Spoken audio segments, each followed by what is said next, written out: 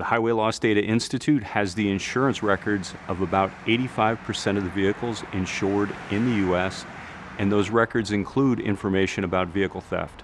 There are three types of vehicle theft claims theft of contents from vehicle, theft of vehicle parts, and whole vehicle theft. Whole vehicle theft claim occurs when the cost of the claim exceeds the value of the vehicle. The two vehicles that top the list for whole vehicle theft are two very powerful vehicles the Hemi powered Dodge Charger and the Hellcat version of the Dodge Challenger. The whole vehicle theft claim rates for these vehicles are more than five times the all vehicle average.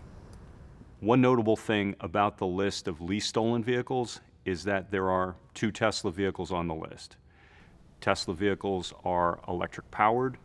We've done a study looking at electric vehicles and what we found is that electric vehicles are much less likely to be stolen than gasoline powered vehicles. Another interesting thing about the list of least stolen vehicles is that there's a number of General Motors vehicles on the list. And that's interesting because in the past, the Cadillac Escalade has appeared at or near the top of our most stolen list. So this is a strong indication that the technologies that General Motors has added to their vehicles to prevent theft are working.